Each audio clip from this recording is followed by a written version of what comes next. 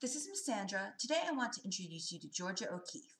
She was an American artist. She's most famous for her flower paintings, but she also did many pictures of New York City and the desert in New Mexico, which was her favorite place. She often took what she saw around her and she simplified it, making it much, much bigger than it would be in real life.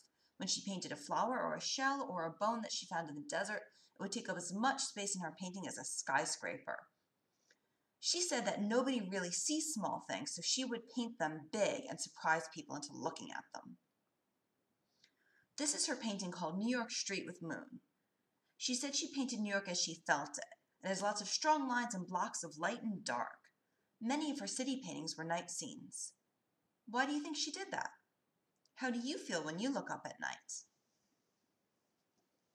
This is one of her most famous paintings. In real life, it's four feet tall. We have this book in the adult section of the library, but once we're open again, I'd be glad to share it with you if you want to see big pictures of her big flowers. When people first saw her enormous flower paintings, they said that they made them feel like butterflies. Next is a shell picture. It's a snail shell, so in real life, it was probably only about the size of these shells. But this is white shell with red. It's almost as big as the New York street painting. She made this painting with pastels. Pastels are ground up color in sticks. They're like a mix of crayons and chalk. They smudge really nicely like chalk, so you can mix colors well, but they can make really deep colors like crayons. You can see how it's a simple picture, but the shape and the extra color make it feel strong. She did a painting that looked a lot like this. It's called Red Hill and White Shell. Do you think the background here is supposed to be the desert too? Do you think the desert is a good backdrop for a shell? To make your own picture, you'll need a pencil and paper and something to draw. Something natural is great.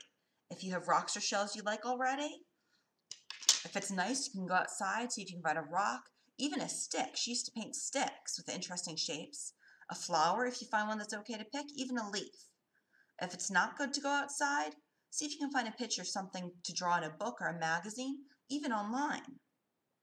You also want something in color with. I've got colored pencils, so I'm going to use those.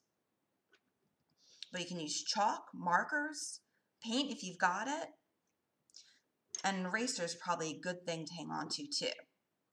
So step one, draw it big. Remember what she said about tricking people into looking at the little things.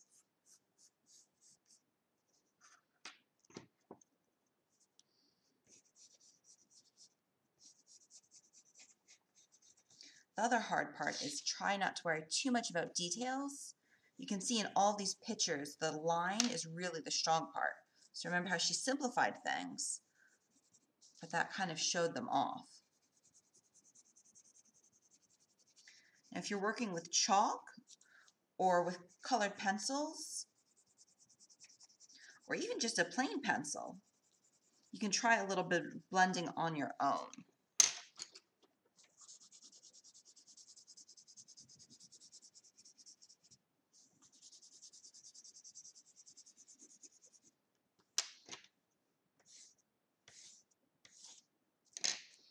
Want to do is take, if you've got paper towels or tissues, and tear a little bit off and wrap it around your finger. And you're going to rub where you've colored. And you can see that the white around it is a little less white, and the color is lighter.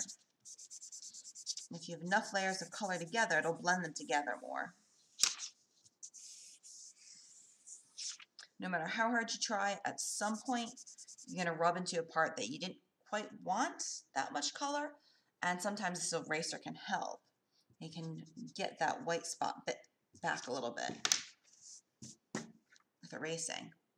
So once you've got your main, all you need to do is think about what you want for a background. Do you want streaks of color, bright colors, dark colors?